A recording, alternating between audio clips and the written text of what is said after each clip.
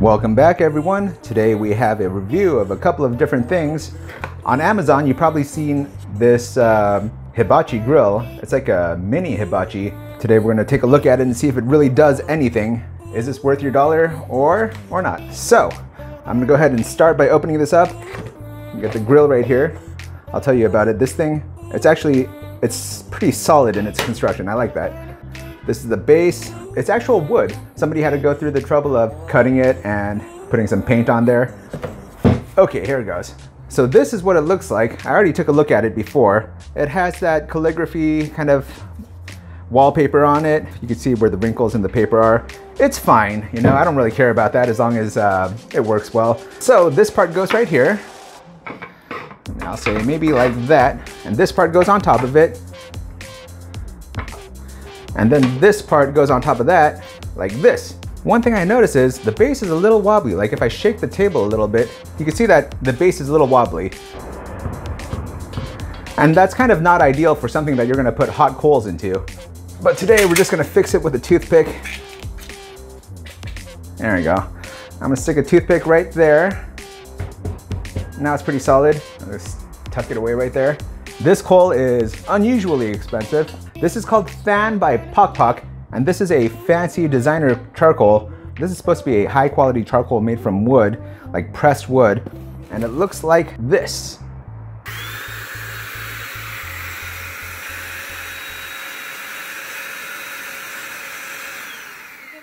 So we had to hit it with a, the air blower.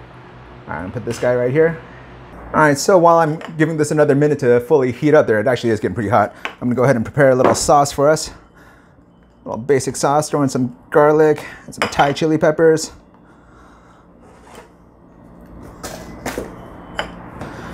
All right, I'm gonna mash it up real good.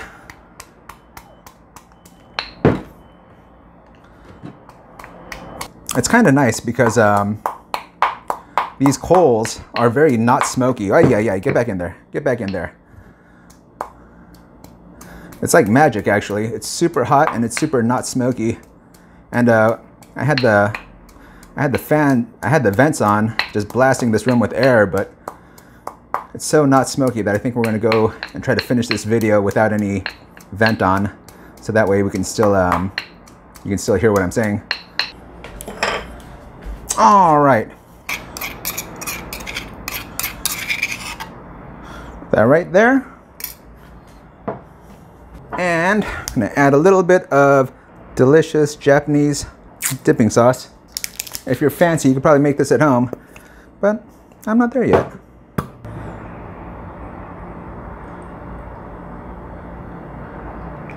Boom. This is radish and ponzu sauce. I actually really like this one.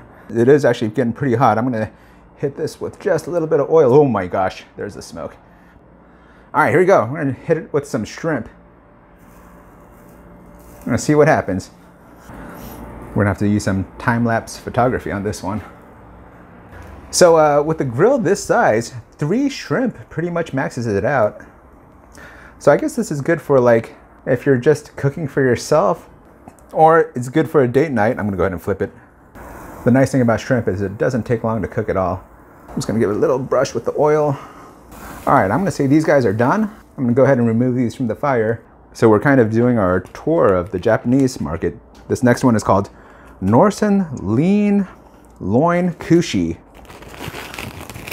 So the nice thing about this particular meat is it already comes on a stick.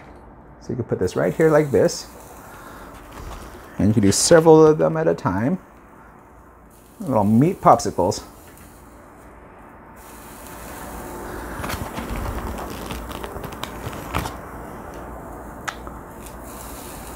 There you go.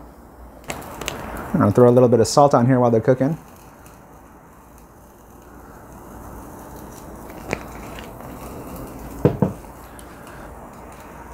Is it ready to flip? I don't know if it's too soon. That might have been a little premature. Little flare up there from the oil. Oh no, it's gonna make my meat dark. Oh no.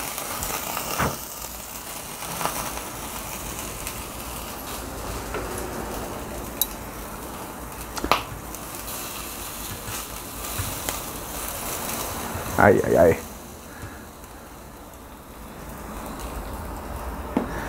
All right, so I lost the skewer on this middle one here. It's about to break off. There it goes. Got a little too hot. I want to move it around just a little bit. I want to move this one to the outside.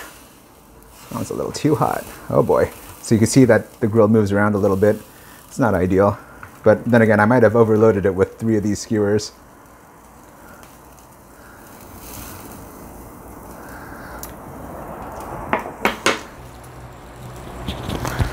Right, so I'm gonna hit it with a little bit more seasoning and uh, I'll be honest with you here.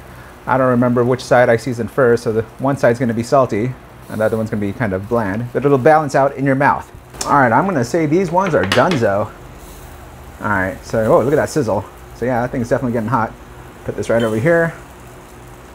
Oh yeah, put that right over there. And then we need an assist for that one.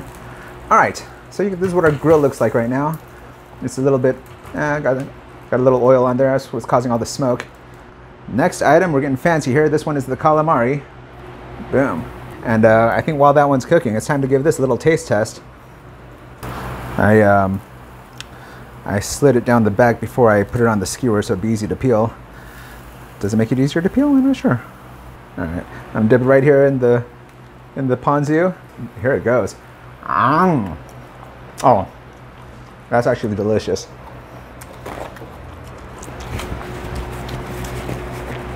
That was actually super good. All right, item number next. I'm gonna get in here with one of these meat skewers. This one is pork belly. Put right in the sauce, just a little bit. Mmm. Oh man. Super tender and delicious. I know I keep saying everything tastes good, but this really does taste good. All right, coming in here with a little bit of pork belly. Lay that right there pork belly is pretty ideal for grilling. I think I kind of missed the center with this one. There you go.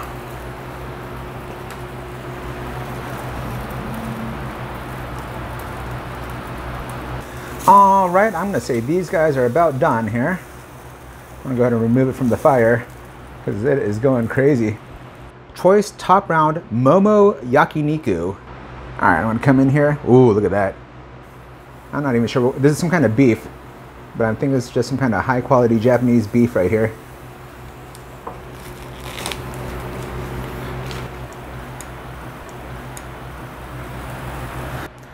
I'm gonna go ahead and try this one just because I like the meat a little bit on the rare side. Look at all, you see all that, the juice is pulling up on the top of that meat there. I'll flip this one over. All right, I'm gonna go directly into my mouth with this, with this one. And uh, I might have to go to the emergency room after this because it might be piping hot. All right, goes right into the sauce here. This might be super hot. All right, here it goes. I'm gonna give it a try.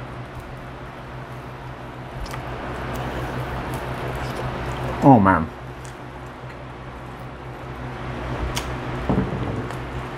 Oh yeah. That's super tender and delicious.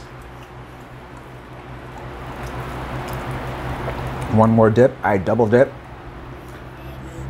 So I wanted to show you what it looked like afterwards. I kind of cleaned it off a little bit and got the ashes out. But uh, yeah, there's uh, some problems here. If you look right here, there's cracks here, there's cracks here, and that crack goes all the way down the inside. And if you look inside here, I don't know if you can see it, but there are cracks all the way. I guess you can say that maybe I made it too hot, um, blowing the air out by going after it with the air gun. but uh, if anything, that's like um, that just that's just like several uses in one use. It's lost all structural integrity, and uh, you don't want to put hot coals into something that's just gonna fall apart on you. And um, to the manufacturers of this product, I would say you just gotta change one thing: keep the mold, keep the molds because uh, I like the way this thing looks. It has a nice shape to it. But you gotta add like two more scoops of batter to the mix because this thing is just, it falls apart after one use. That's no good. It just needs to be a little stronger. It just needs to be a little stronger, then you'd be okay. Uh, and yeah, it's sad for me because I actually really like this thing. I wanted for this thing to work. Um, but anyway, that's that. Um, thank you for watching. Uh, please like and subscribe, and we'll have more content for you soon.